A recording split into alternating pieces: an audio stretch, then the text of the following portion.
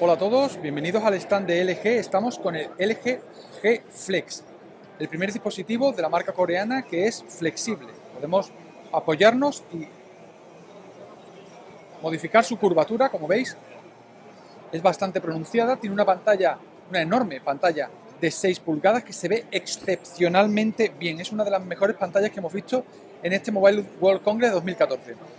Os comentamos las especificaciones. Es móvil, como veis, va espectacularmente fluido. Tiene un procesador quad-core Qualcomm Snapdragon 800 a 2,26 GHz. Tiene 6 pulgadas de pantalla en Full HD. Ahora veremos cómo se ve un vídeo en esta espectacular pantalla. 32 GB de almacenamiento, una, batería de 3.500 mAh, con una cámara delantera de 2 megapíxeles y una trasera de 13, que además tiene el botón característico que tiene el LG G2 y el LG G2 Mini.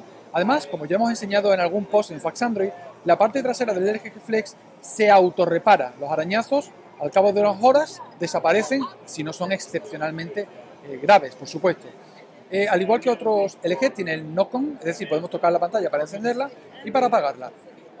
La interfaz de LG es la que ya conocemos, tiene muchísimas opciones, muchísimas, las notificaciones, por supuesto, la parte inferior, tenemos accesos para modificar en la parte superior lo que queremos que aparezca, las aplicaciones recientes, el brillo, tenemos el volumen, también por supuesto, si nos vamos a los ajustes, nos vamos,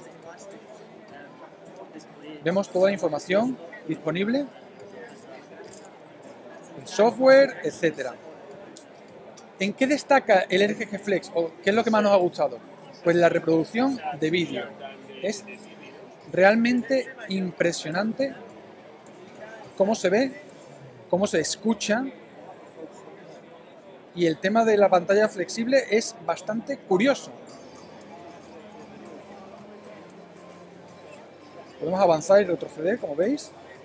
Podemos ampliar el vídeo y se sigue viendo muy, muy bien.